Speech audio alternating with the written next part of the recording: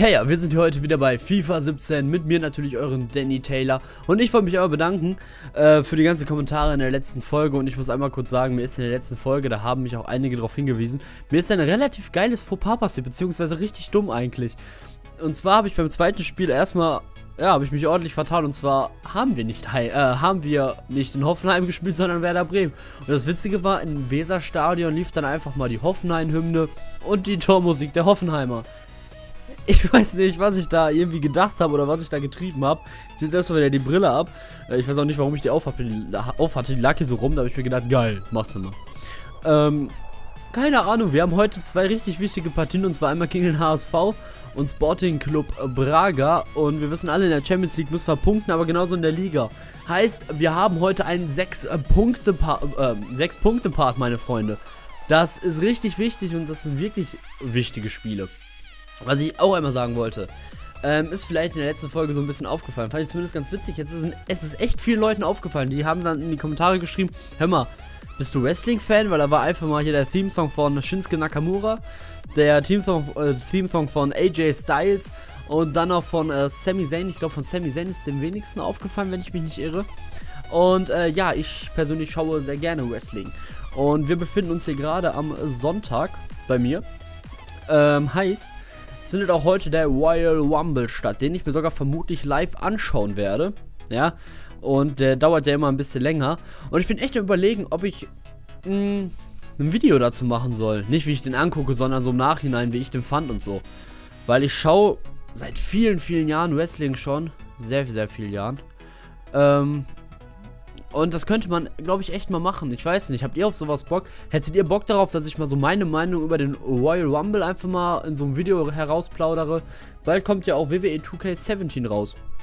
Vielleicht, man weiß es nicht, ne? Ob da was kommen wird, ne? Ähm, ihr merkt auf jeden Fall, ich habe richtig, richtig gute Laune. Könnte auch hieran liegen. Ich muss nämlich wach bleiben. Ja, ich weiß, es ist ein Red Bull, aber schmeckt halt, was soll ich tun? Ähm, ich halte vom Verein fast genauso wenig wie wahrscheinlich die meisten von euch. Ich wollte euch einmal kurz äh, die Mannschaft zeigen, mit der wir gegen den HSV spielen werden. Und zwar, Jonusovic hat in letzter Zeit einfach so kacke gespielt, deswegen spielt jetzt Altcheck mal von Anfang an. Äh, nochmal von Anfang an, weil er hat mich in letzter Zeit eigentlich sehr gut überzeugt.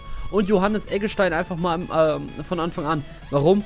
Weil ich äh, Bock darauf habe. Ich habe auch ein bisschen mal in den Anweisungen rumgespielt.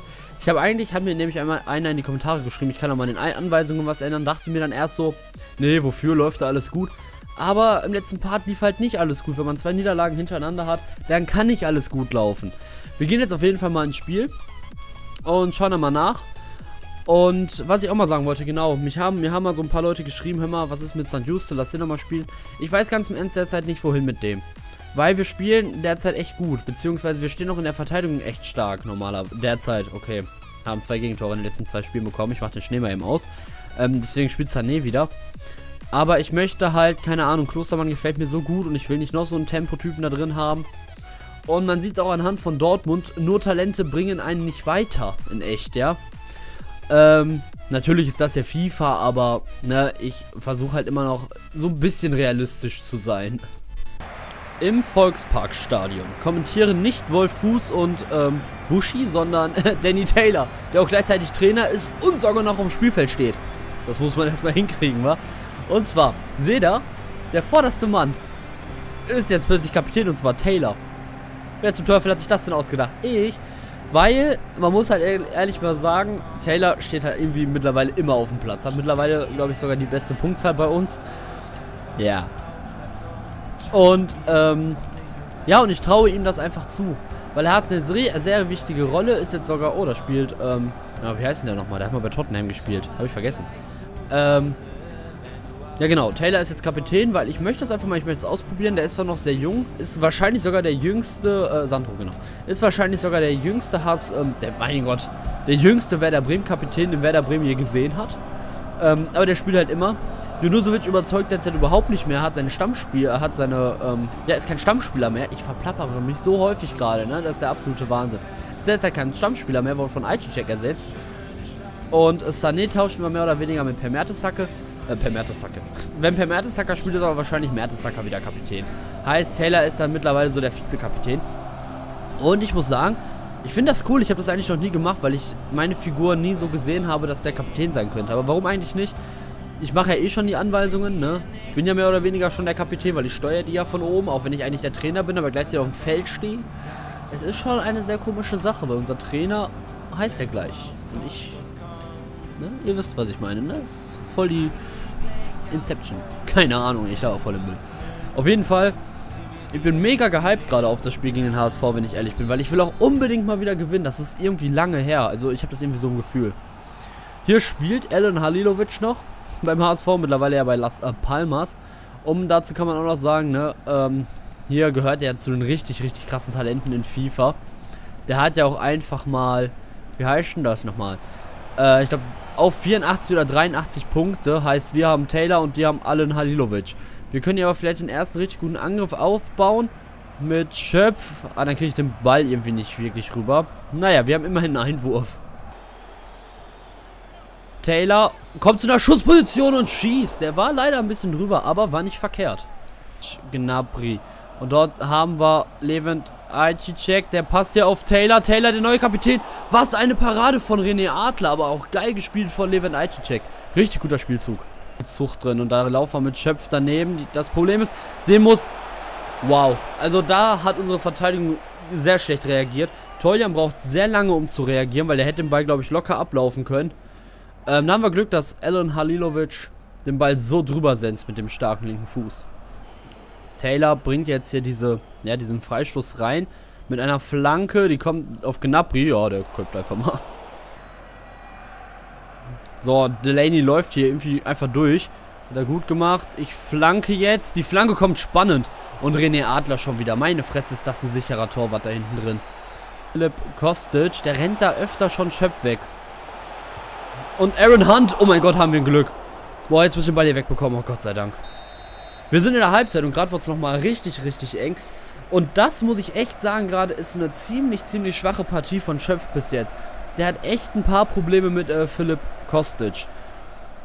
Ist ein bisschen ärgerlich. Ich werde mir das jetzt noch ein bisschen anschauen. Aber wir können auf jeden Fall sehen, dass eine Führung für uns auf jeden Fall verdient wäre. Denn HSV hat, glaube ich, einmal mit Alan Halilovic und einmal mit Aaron Hunt drauf geschossen. Was ich im Übrigen machen könnte, wäre, weil wir haben, glaube ich, genau, wir haben gar kein Dingens dabei. Kein Bauer. Heißt, ich würde dann eventuell, wenn Schöpf, wenn ich, wenn das gar nicht mehr geht jetzt hier, weil wie gesagt, der spielt gerade nicht so stark, würde ich den eventuell rausholen. Und dann eventuell Toljan auf rechts, weil er ist ja auch Rechtsfuß. Und dann Schmitz, der hat ja schon öfter bewiesen, dass er das auch in der Verteidigung kann. Würden wir den dann da hinstellen. Aber wir schauen erstmal. Und wenn euch diese Halbzeit schon gefallen hat, würde ich mich jetzt schon auf jeden Fall über einen Daumen nach oben sehr freuen. Vielleicht schaffen wir ja wieder über die 100 irgendwas. Das wäre auf jeden Fall wieder richtig awesome. Sorry. Und Delaney hat den Ball. Oh Gott. Ich schieß mit dem nicht mehr vom Weit. Ne, da kommt ja nur Scheiße bei raus. Starker Pass. Philipp Kostic. Boah, stark. Oh, das war richtig schlecht geklärt. Boah, Gott sei Dank. Ich habe den Ball jetzt mal freiwillig ins Ausgeschossen, weil ich auswechseln wollte. Genauso wie die HSVer, die holen nämlich Eckdal für Jung. Und wir wechseln Eggestein für Hahn aus. Äh, Stefaniak kommt für Philipp rein. Und Eitschek geht raus äh, für Junusovic. So, ich muss aber wirklich sagen, die Leute, die wir jetzt alle ausgewechselt haben, die haben mir richtig gut gefallen. Ähm, ja, die haben mir einfach gut gefallen, aber ich wollte halt mal was wechseln. Und jetzt Junusovic, was macht er denn? Junusovic schießt einfach mal. Schade, aber guter Gang von Stefaniak. Egal, so, da haben wir nochmal Schöpf. Der flankt rein, die Flanke kommt, okay. Boah, Alter, was war das denn? Der war ja gefährlicher, als wenn Hahn köpfen würde. Das Spiel ist vorbei. Es steht am Ende einfach mal 0 zu 0 im Nordderby. Wir hätten gewinnen können, hundertprozentig. Wir, wir waren echt stark teilweise. Also mir haben richtig viele Spieler gut gefallen. Im Übrigen war auch der Schöpf, der kam wieder ordentlich rein, deswegen habe ich ihn noch nicht ausgewechselt. Ähm, Junusovic finde ich jetzt aber auch gemein, die 5,9, jetzt mal ehrlich. Ähm, es war halt schwer, die HSV wurden am Ende echt defensiver, kann man echt nicht anders sagen. Und hier sehen wir halt einfach, Check hat mir super gefallen. Überhaupt, alle haben eigentlich richtig gut gespielt von Anfang an. Also auch ein Eggestein, da fehlt nur teilweise noch so ein bisschen das Durchsetzungsvermögen, aber es gefällt mir super. Vor allem ist das halt so ein Werder-Talent, sag ich mal. Ist halt richtig geil, deswegen gebe ich den halt jetzt auch mal wieder Chancen, beziehungsweise möchte ihn auf jeden Fall mal ein paar mehr Chancen geben, weil der hat mir, wie gesagt, eigentlich echt gut gefallen. Jetzt können wir noch sehen, und das ist richtig gut eigentlich gerade, dass wir derzeit noch Zweiter sind. Jetzt ein Sieg gegen Braga und dann hoffen, dass Arsenal gegen Olympique Lyon gewinnt. Dann ist für uns noch einiges drin. Wir schauen mal ganz kurz in die Nachrichten rein. und Sebastian Schmitz war enttäuscht, nicht in der Startelf zu stehen. Sebastian Schmitz auch ein Spieler, den ich auf jeden Fall öfter bringen möchte, aber ich weiß ehrlich gesagt nicht wo teilweise. In der Offensive muss ich teilweise, muss ich halt ehrlich gestehen, da fehlt mir das Tempo, ist ein Megatalent, ne, aus der eigenen Jugend, aber der ist halt wirklich arschlangsam. das bringt mir auf den Außen überhaupt nichts, deswegen benutze ich den halt meistens als linken Verteidiger. Müssen wir auf jeden Fall mal schauen. Ich muss sowieso mal generell jetzt gucken, was ich alles auswechseln muss. Wir sind uns dann in der Partie gegen Sporting Club Braga. Ein wirklich, wirklich sehr, sehr wichtiges Spiel in der Champions League. Wir sind aktuell noch Zweiter, obwohl wir halt echt kacke gespielt haben. Muss man wirklich sagen, in der Champions League waren wir nicht erfolgreich.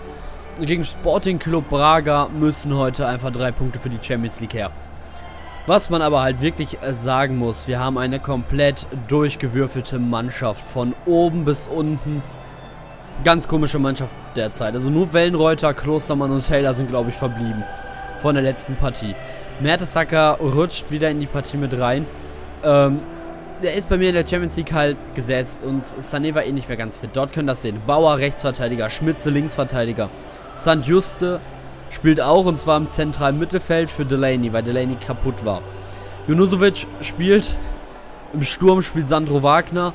Links im Mittelfeld spielt Keins, glaube ich, und rechts Stefaniak. Heißt, es wird eine unfassbar schwere Partie. Wir haben schon länger nicht mehr gewonnen. Es wird Zeit. Und natürlich vertraue ich unserer Elf. Ich vertraue Sandro Wagner. Natürlich. Und dort sind wir unseren Trainer. Natürlich heute alles auf Sieg setzen. Das wird eine richtig, richtig schwere Partie, glaube ich. Wir werden alles geben, aber ich muss auch sagen, ich habe mega Respekt vor Sporting Braga, was die in der letzten Partie, beziehungsweise als wir gegen die gespielt haben, da abgerissen haben, beziehungsweise wie die zurückgekommen sind. Bei einer Partie, wo die eigentlich nichts zu melden hatten. Das war schon hart, muss ich wirklich sagen. Mir fällt gerade im Übrigen auf, ich hätte gar nicht St. Just im Mittelfeld spielen lassen müssen. Ich hätte da auch zum Beispiel Flint hinstellen können von Anfang an, der auf der Bank sitzt, oder mal Christiansen. Ich muss echt sagen, ich habe mich in der Sommertransferphase echt nicht... Ne, ich war nicht der beste Manager, obwohl... Wir stehen ja in der Tabelle ganz gut, ne? Und es sind, ist, sind halt nicht immer die Neuzugänge, die halt die besten Spieler sind. Das muss man halt auch mal sagen.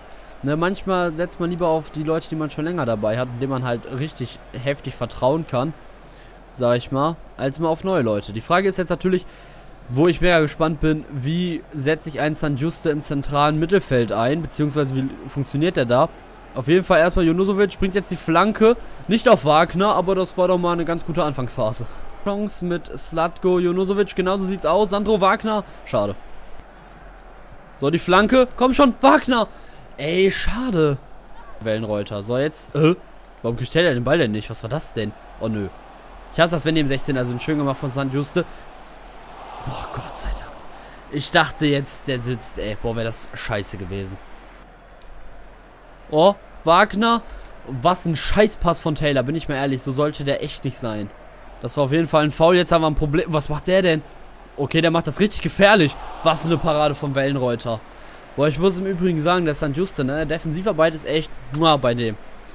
Aber wenn es um Pässe nach vorne geht, um so richtig gefährliche Pässe. Boah, also wenn ich einen Konter oder so machen will. Oh, scheiß die Wand, da macht er da Fehlpässe. Kann wird jetzt auf die Außen gezwungen. Äh, was ist das denn? Was war das denn? Boah, haben wir ein Glück. Meine Fresse, das war ja ganz missraten. Und schöner Pass auf Stefaniak. Und jetzt, das ist eigentlich... Das ist so eine Sandro Wagner-Aktion eigentlich. Warum steht der da nicht? Jetzt die Flanke, komm schon. Och, Junge. Ja, wir sind in der Halbzeit. Und was sagt man jetzt zu so einer Halbzeit? Am Anfang waren wir echt gut. Aber mittlerweile werde ich echt teilweise ausgekontet. Zu St. Juste habe ich mich gerade schon irgendwie geäußert. Der ist halt wirklich gut in der Verteidigung, aber die Offensivaktionen funktionieren halt wirklich überhaupt nicht.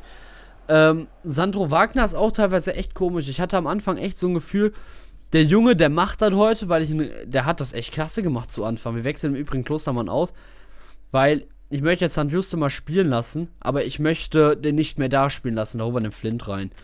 Ähm, der hat ja damals ziemlich gut gemacht. Also, wie gesagt, bei Wagner hatte ich so ein Gefühl, der macht das diese Partie wirklich. Das Problem ist, ich spiele heute ein bisschen anders. Ich komme viel über die Außen- und Flank rein. Manchmal steht Wagner nicht da, wo er zu stehen hat. Und manchmal kommt der Kopfball perfekt auf den und der verliert einfach das Kopfballduell.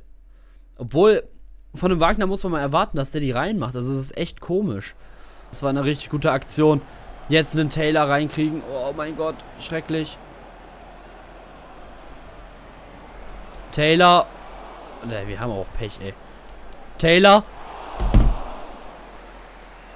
Also mir hat letztes Mal einer in die Kommentare geschrieben, ne, dass Werder Bremen das Wort Pech erfunden hat, beziehungsweise man das sehr oft benutzen kann. Und das ist Pech und Unvermögen zugleich. Wir wechseln aus und zwar kommt jetzt André Hahn ins Match für Stefaniak, der teilweise richtig gut war, aber richtig schlecht geworden ist nach einer Zeit. Deswegen André Hahn jetzt im rechten Mittelfeld. Sovic. Mein Gott. Ey, der jagt den da hinten in die Beine, alles mögliche, ey. Ist der Wahnsinn. So, da habe ich einen Fehler gemacht. Boah. Boah, Bayano. Müssen aufpassen. Boah, das war's mit der Champions League. Meine Fresse. In dem Spiel hat aber auch nichts gepasst, ne? Wie kann man den da so frei durchlaufen lassen? Was macht eigentlich die Innenverteidigung da? Die gehen beide zur Seite und rechnen nicht damit, dass da einer in der Mitte durchläuft. Also das war bis jetzt ein ganz schwaches Spiel von uns. Ich weiß auch nicht, wie sich das ändern soll. St. Juste.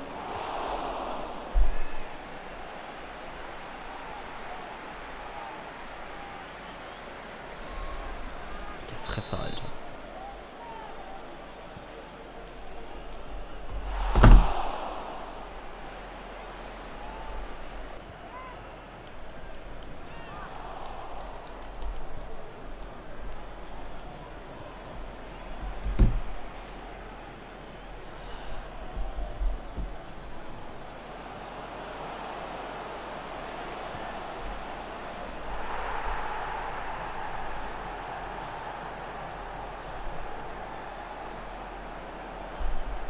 Bin bedient.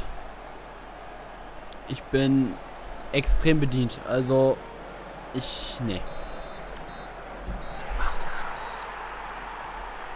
Und damit haben wir vielleicht eine der wichtigsten Spiele in dieser Karriere verloren.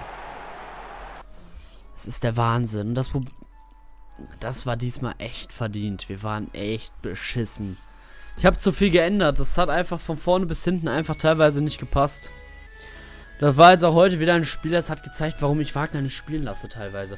Also es ist der absolute Wahnsinn. Ich habe mich, ich habe versucht, mich auf ihm auszulegen und alles mögliche, ne? Oh Gott. Boah, haben wir lange nicht mehr gewonnen, ey.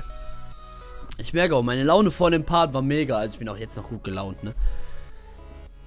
Boah, aber man ist doch, man ist schon hart deprimiert. Also man ist schon echt, echt niedergeschlagen, ne? Also ich bin zumindest, weil ich halt so ein Spieler bin. Mich würde jetzt mal kurz interessieren, wo kann ich die Champions League Tabelle sehen? Ich weiß gar nicht, ob ich die überhaupt sehen möchte. Ich hoffe ja, also ich glaube nicht, ich hoffe, wir sind nicht mehr Zweiter. Ich hoffe ja im Ernst, dass wir Dritter sind und dann vielleicht in die Euroleague kommen. Und wir sind Letzter. Nice. Scheiße. Nee, dann... Fuck. Oh mein Gott. Wir sind für. Ich habe Angst gehabt vor der Champions League vor der Saison. Ich habe es auch damals angesprochen, weiß ich nur ganz genau. Dass das richtig schwer wird, ey. Aber ich hätte nicht gedacht, dass das so schwer wird. Kacke. Also das ist echt. Echt hart. Ähm, ich, ich würde es eigentlich echt nicht an der Formation festmachen, ne? Weil ich, ich spiele mit der Formation eigentlich immer. Ich kann mit der auch eigentlich wirklich gut umgehen. Und ich finde, es liegt auch nicht an unseren Spielzügen und alles, weil ich finde, wir spielen an für sich echt, echt stark. Das hat man gegen den HSV gesehen. Aber wir können keine Tore mehr schießen. Wir kriegen es nicht mehr hin. Vielleicht versuche ich sogar wirklich mal im nächsten Part mit einer neuen Formation. Das wird dann vermutlich die hier sein.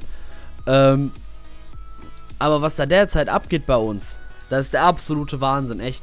Wir kriegen es derzeit nicht hin. Es läuft derzeit einfach nicht bei uns. Ähm, ich versuche es mal mit sowas. Aber eigentlich, ich, wahrscheinlich versuche ich das wirklich, aber so ein Spiel wie gegen den HSV, wo wir richtig, richtig stark waren, ist dann halt so eine Sache, ne? Wir schauen uns mal kurz auf den Kalender, wir spielen gegen Mainz, dann noch gegen RB und dann ist es soweit, Olympic Lyon, das wird ein unfassbar schweres Spiel, denn ich will in die fucking Euroleague wenigstens kommen. Ich will gegen Olympic Lyon gewinnen, damit wir wenigstens in die Euroleague kommen. Und das ist möglich, wenn wir gewinnen. Und das ist auch unfassbar wichtig, weil ich will nicht, dass wir es schaffen, in den internationalen Wettbewerb zu kommen und nur um dann sofort rauszufliegen. Ich würde mich wirklich mit der Euroleague zufrieden geben. Ich hoffe trotzdem, dass euch dieser Part gefallen hat. Und lasst auf jeden Fall eure Kommentare zu dieser Situation daher, weil ich noch zeigen wollte. Yeah. Das kann gar nicht sehen, ne? ich habe ein Kristall-T-Shirt an. Ähm, mit dem hat man mich ja eh schon öfter verglichen. Vom Aussehen her zumindest. Also, lasst bitte auf jeden Fall einen Daumen da. Zeigt mir eure Unterstützung, die brauche ich in dieser schweren Phase. Gott, wie schleimig das klingt. Wäre auf jeden Fall richtig geil. Denn das wäre einfach richtig schön von euch. Und wie gesagt, Kommentare zu dieser Situation. Ich bedanke mich recht herzlich fürs Zuschauen. Ich reg mich vielleicht kurz, aber dann spiele ich noch, weil ich habe eigentlich echt Bock, weiter in FIFA zu spielen gerade.